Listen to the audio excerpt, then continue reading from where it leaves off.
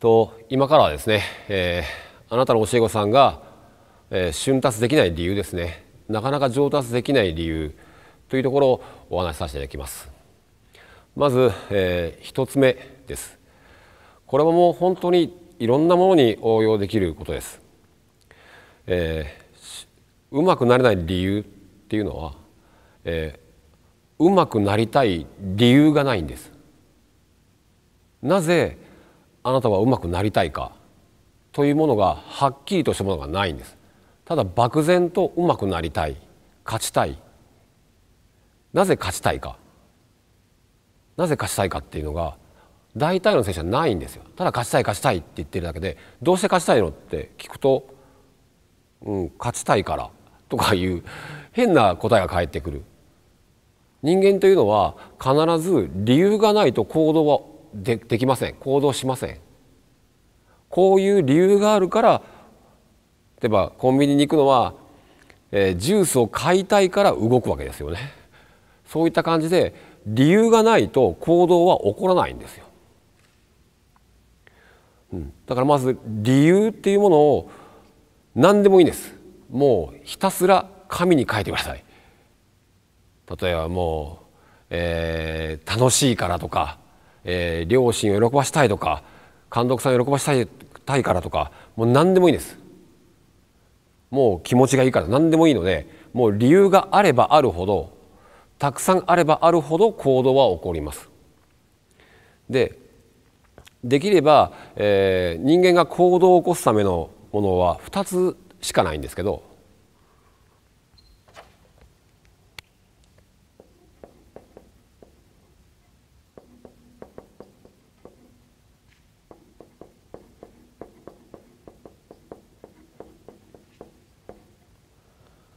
人間が行動を起こす2つの要因っていうのがあってもうこれしかありません。愛と恐怖。例えばこれは誰かのためとか自分のためですね。これが愛ですよね。恐怖、えー、怒られるとか、えー、これをやらないと、えー、試合に勝てないからとかいうそのなんかプレッシャーっていうかそういったものですね。この2つどちらかしか必ずないんです。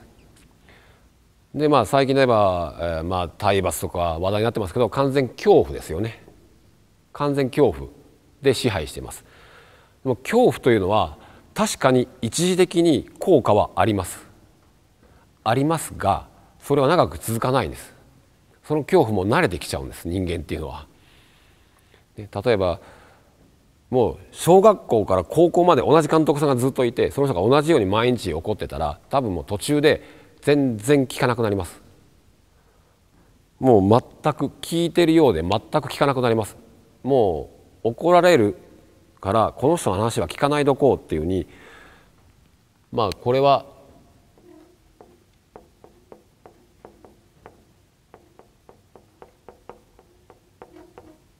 自己保存の法則っていうのがあって自分を守ろうと人間はするんですね。だから怒られるっていうものから逃げよう逃げようとします。そのために返事はしますけど何も入ってきません。そうなってしまうので一時的に恐怖は確かに、えー、効果はありますが長くは続きません。ので是非そのうまくなりたい理由勝ちたい理由っていうのはここね、に、え焦点を当てて紙に書きまくってください。そうするとうまくなっていきます。ねえー、まず一つ目が、えー、うまくできならない理由の一つ目が、まあ、この、ねえー、勝ちたい理由うまくなりたい理由というものがはっきりとしたものがないっていうところですね。で次にですね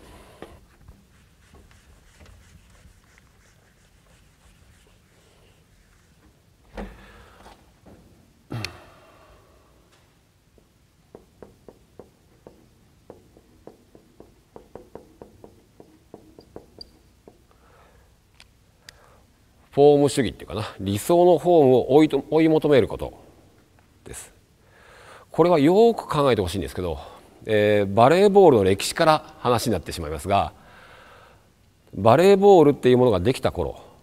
はおそらくまあイメージ的に羽根つきみたいな感じ。ただポンポンとやってた、ね、それで点数が入りますって相手がミスしたら点数が入りますっていう感じだったんですけどでもっと点数を取りたいためにじゃあどうしたらいいかを考えてネットがあってこうよりこういうズダンズドンといくような速いボールを打った方が点数は取れるんじゃないかって多分考え出したと思うんですよ。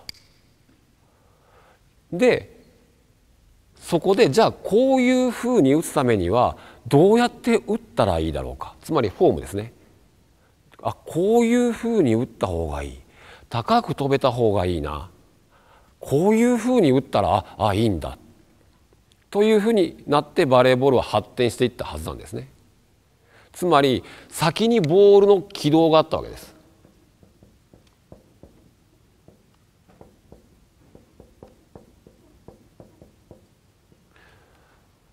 先にボールの軌道のイメージがあってフォームが出来上がったんですけど今の指導はフォームを先に教えたわけですよねフォームだけしか教えないんですよ。これおかしな話なんですよね。フォームはボールの軌道のイメージがあるからそのイメージに合わせてできていくのにフォームだけ教えちゃうんですよ。ボールの軌道のイメージは全くなく。で上手い選手とあまり上手くなる選手に聞いてみると上手い選手は必ずこういうスパイクの軌道を打ってみたいとかこういうサーブとかこういうサーブレシーブの軌道とかいうイメージが必ずありますけどあまり上手くならない選手に聞くと全くないです。ただセッターに返したい。ただ点数取りたい。だけ。イメージが全くないんですね。だからうまくならないんです。先ほど話したボールの軌道のイメージがあるからフォームは出来上がっていくんですから。で意識はほぼほとんどの選手はホームばっかりです。よくあるのがサーブレシーブとかでもこうセッターにボールが返りましたでもその選手は今フォームがこういうふうになってたからなとか帰ればいいのに帰るためにサーブレシーバーしてるのにフォームが今こういうふうになってた、えー、腰が落ち落ちてなかったとかそういうふうに言い出しちゃうんですね。何がしたいかがよくわからないんです僕からすると。えお前はボールを返したいんだよねと。で帰ったのになんでフォームがあだこうだ言ってるのと。よくわからないなと。ホーム主義になりすぎてしまってるがためにここがおろそかになってしまう、ね、バレーボールで大事なのはボールの軌道ですが一番フォームのフォームがいくら綺麗でも点数はゼロです、ね、決まらなければねだからフォームっていうことよりまずまずこちらを作ることから必ず始めてください。もうほんと卵が先か鶏が先かみたいな感じですけどこれができることを作ることをまずしないとうまくはなりません。いいプレーはできませんね。まずフォームもまあ確かにフォームも大事ですけどここを作ることをまず行ってください。でここはボールの軌道が大事だというところですね。えー、次にですね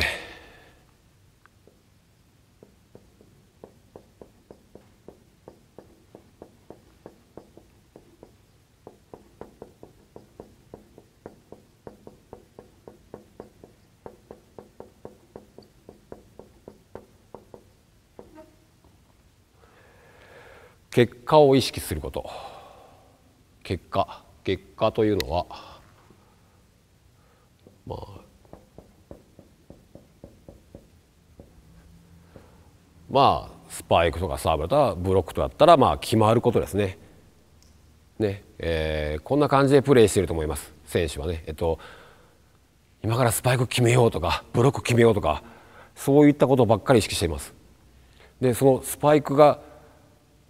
決まる決まるんだろうかブロックは決まるだろうかサーブ入るだろうかトスはちゃんと入るだろうかっていうふうに結果ばっかり意識してるんですよね。まず結果というのは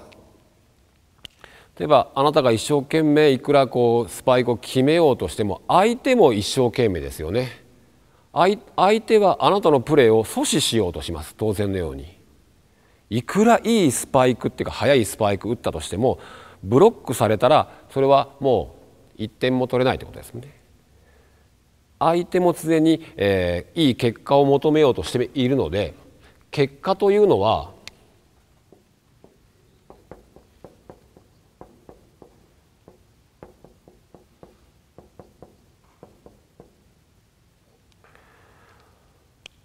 コントロールはできません結果は。自分ではコントロールは全くできないんです。でコントロールはできないものに意識向けてもしょうがないんですねまあ少し余談になりますけどなりますけど例えばコントロールできない審判のね判定とかをコントロールできませんよねあなたの身長もコントロールできないし、ね、コントロールできないものに意識持っててもしょうがないんです。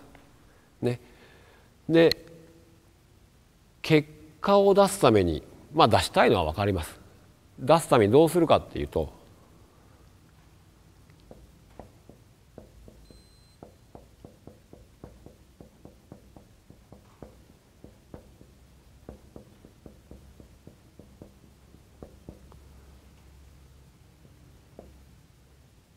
今に意識を向けること今今すべきことに意識を向けてプレーしてください結果を出すために今何を意識するかではスパイクだったらスパイクでも何でもそうですけどイメージを作っていることがイメージすることが今ですよね。でそうすることによって結果的に結果が出しやすくなるんです。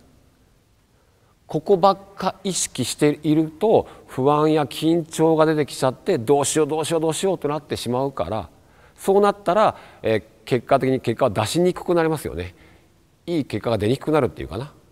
から今何をすべきかに意識を持っていくといいプレー結果的に結果が出しやすくなるって表現してますけど出しやすくなるんですね。から今あなたが何をするべきか試合中もそうだし、えー、練習中もそうですけど今一体あなたは何をするべきかっていうのを必ず決めて意識をしてください。そうすると結果は出しやすくなるってことですね。はい。では次ですね。えー、うまくなるために頑張って見え,、ね、見えるのは分かりますけど、えー、こう邪魔をするものっていうものがあるんです。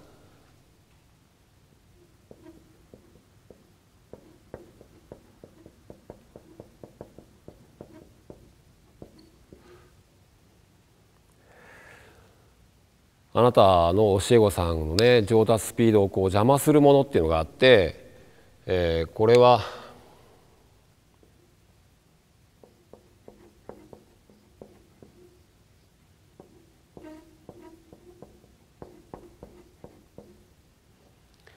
他人と自分です。他人。つまりこれは監督さんだったり、えー、周りのチームあチームのメンバーですね。が邪魔をすることがあります。どういうことかというと例えば、えー、サーブレシーブで今日は、えー、ボールをよく見る練習にしようというふうに決めたとしましょう。あなたがね。だまああなたの教え子さんがね。でこうそのボールを見ることだけを意識してプレーをしてきます。そうしたら周りの人間っていうのは例えば今のは腰が落ちてなかったよねとか今のは面が向いてなかったよねとか必ず何か言ってきます。ね、でそれが1人だったらいいけど2人とかなってくるととんでもなく増えちゃうわけですやることが。で多分あなたの教え子さんはその自分で今からボールを見る練習を今日しようと思ったことをパンって飛んでっちゃうんですね。ああ肘が曲がってたんだな。腰下げなきゃ。っていうふうになってでそのいわゆる指摘されてで改善部分を自分でいっぱい見つけてはい練習終わり。っていうことは結構あるんですよ。で今日の練習は改善点がいっぱい見つかった。よかった。を繰り返してるんです。ほとんどの選手はこういうふうですほとんど繰り返してるだけ改善点を見つけて終わり改善されずに終わっちゃうんですよ。で当然のように同じことを自分でもやってます。ボールを見よう今日今日の練習はボールを見ることだって決めたはずなのにああ今は腰が下がってなかったなとかそういったことをやっちゃうんですよ。でそれで満足しちゃうこれおかしいんですよね。練習は試合で見つかった改善点を改善していくのが練習です。けど練習でも改善点を見つけることだけに意識を持っている選手がほとんどです。何にも改善せずにただ改善点を見つか見つけたことに対して気持ちよくなっている選手が多い。でそれを例えば反省バレーノートに書いて今日はこういうふうでこうでこうでした読み返してみるといつも一緒か。何も変わってないなと。結局これはで最初の話した思考に戻ってくるんですけど考え方ですね。改善点を見つける、えっと、改善するものが練習のはずなのにいつまでか練習まで改善点を見つけるものになってる。それは考え方ですね。なるのでじゃあこうこう他人や自分が邪魔をする。のは分かってもらえたと思うんですけどじゃあどうするかというと、えー、宣言だな。